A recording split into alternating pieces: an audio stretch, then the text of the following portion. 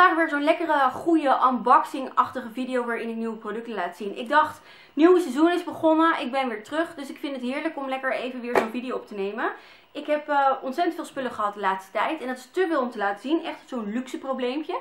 Maar ik dacht het is wel leuk om de producten waar ik nu al ontzettend enthousiast over ben, om dat aan jullie te laten zien. Het kan zijn dat van enkele producten al een review online is gekomen. Deze video komt zaterdag online en het is nu woensdag.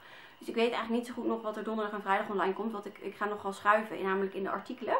Maar uh, ik laat jullie in ieder geval een kijkje geven in de nieuwe collecties. En ik zit op een nieuwe locatie. Ik uh, hoor graag wat je ervan vindt. Ik vind het eigenlijk wel leuk en ik zit eigenlijk wel lekker. Dus uh, ik hoor het graag. Ik begin. Even kijken, waar begin ik? Ik begin bij OPI. Ik had afgelopen week een persevent. En de goodiebag die we daar kregen, nou, is echt schandalig. Maar daar zaten dus ook producten in van OPI. Nou ja, jullie kennen me. Ik ben OPI-fan. En het leuke was, ik kwam ook echt aan die tafel van OPI. En die dames, die waren er namelijk de vorige keer ook dat ik erbij was. En uh, die zagen mij aankomen lopen en die zeiden, hey mini-pack meisje. Dus dat was heel grappig, want ik ben natuurlijk fan van mini-packs. Dat klopt. Dus het was, uh, het was eigenlijk gewoon heel erg grappig. Een beetje gênant, maar ook wel weer heel erg grappig. Maar de Starlight collectie is verkrijgbaar vanaf 22 oktober tot de tweede week januari. En hij is fantastisch. Prachtige donkere tinten. Mooie zachte tinten. Waanzinnig mooie limited edition glitters. Ik ben echt verliefd op die collectie. Je kan ook heel veel setjes krijgen. Deze bijvoorbeeld voor 29,95 heb je van die nagellak tatoeages die je dan op je nagels plakt. En twee kleuren. Volgens mij heb je drie verschillende soorten setjes hiervan. Uh, hier zit dan Love is in my cards, een rode lak in. En Celestial is more. En dit is een limited edition. En hier heb ik bijvoorbeeld een mini pack. Uh, OPI All Stars, Love is in my cards, Guys in Galaxies, Is This Star Taken en Press for Silver. Ik zal hem er even uithalen. Hele mooie kleuren.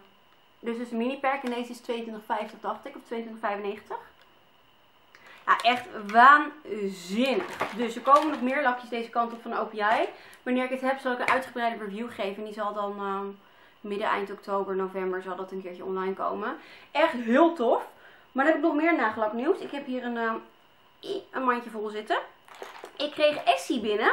En wellicht heb je al wel reviews gezien van Essie. Het duurde bij mij wat langer voordat ik het kreeg, want de producten waren gestuurd naar mijn oude adres. Dat is niet handig. Uh, tot twee maal toe zelfs. Dus drie keer was scheepsrecht. En toen kreeg ik hem hier thuis. Dus ik moet nog even langs mijn oude adres. Of daar ben ik al langs geweest. Maar we zijn op vakantie. Want ze hebben daar namelijk uh, twee pakketjes van Essie uh, nog liggen. Ja, dat is niet handig natuurlijk. Ik heb hier de collectie. De herfstcollectie is dit. Kom eens hier. Heel tof. Echt heel tof. Voor ieder wat wil volgens mij. Ik ga even de kleuren langs. Bell Bottom Blues. Uh, in de lobby. Beetje een lakje wat ik nu op heb, heb ik het idee. Uh, with the band. Beetje een roeskleur. Althans, dat noemen ze een roeskleur. Ik vind oranje meer roestachtig, maar dit noemen ze een roeskleur. Leggy Legend. Een gouden. Een beetje voor de kerst, vind ik. Frock and Roll. Een, een zwarte met glitters. En Color Binge. Erg leuk. 10 euro zijn volgens mij al verkrijgbaar. Dan hebben we een collectie van Rimmel. En, uh, en van, met Kate. Weer natuurlijk, Kate Moth. En die heeft nieuwe producten uitgebracht in lakjes en in lippenstiften. Volgens mij drie lakjes en drie lippenstiften of twee lakjes en nou ja, zoiets in ieder geval. Ik heb hier twee kleuren, Sensual Spice en Gentle Kiss. Deze collectie heb ik al op de foto gezet, dus ik kan ook wel even swatches, uh, ik had al een swatch gemaakt op mijn hand. Nummer 1 is gewoon een lippenbalsem, daar komt geen kleur vanaf. En dan hebben we hier nummer 43. En dat is een bruine kleur en dat is deze. Heb nog niet getest hoe die is op mijn lippen. Ik ben een beetje benieuwd. Ik ben een beetje bang voor. Ik denk dat ik alleen de, de nagellakjes mooi ga vinden. Maar ik ben benieuwd. Ik vind de verpakking niet denderend. Ik vind het een beetje goedkoop ogen. Van de lipstift hoor. Niet van de nagellakjes. Dus dat vind ik wel minder, minder leuk. Maar ik vind het wel leuk dat er een nieuwe collectie weer uitkomt. Want uiteindelijk ja, is toch wel een trend die blijft. Het is niet alleen maar meer een trend heb ik het idee. Philosophy komt uit met een nieuwe hoop in het jar, dan de dry versie. En er waren heel veel dames op Twitter al blij mee toen ik het nieuws deelde. Um, ik zelf maakt mij niet zoveel uit. Ik heb een, een, normale tot gemengde huid, dus ik kan alles wel gebruiken. Ik weet niet of hier een review van komt, want ik heb namelijk het normale zusje al uitgebreid gereviewd. Uh, maar je hebt dus nu ook een dry versie. En zodra die andere op is, die zit in mijn nachtkastje daar, gebruik het als nachtcreme.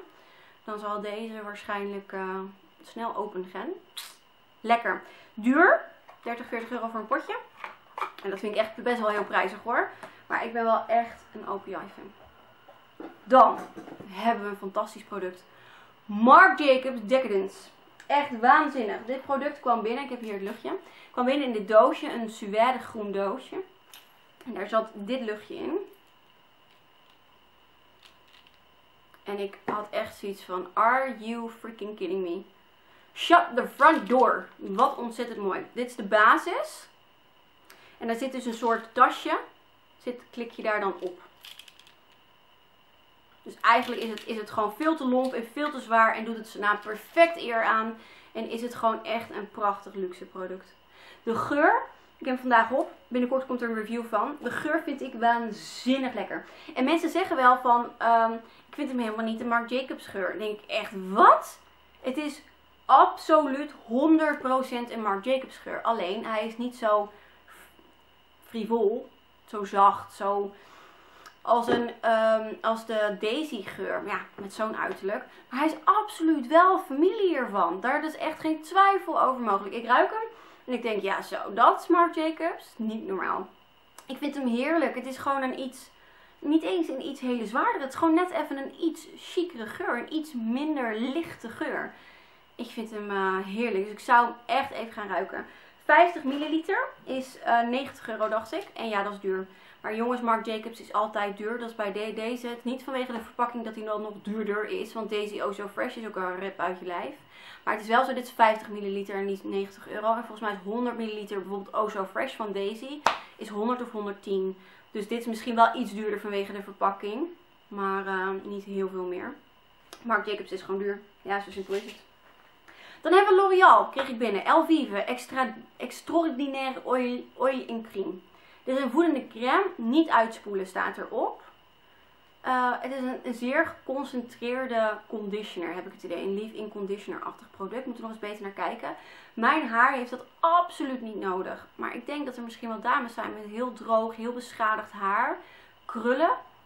Waarvan ik denk, die zouden hier nog wel eens baat bij kunnen hebben. Volgens mij, ik heb hier persbericht nog, maar volgens mij staat hier niet de prijs op. Die staat alleen maar volgens mij in... Uh... Nee. Die staat alleen maar in de mail. Maar dat staat dan wel, komt dan wel in de review. Ik denk dat ik het een te zwaar product vind. Maar ik denk dat sommige vrouwen hier echt heel erg baat bij kunnen hebben.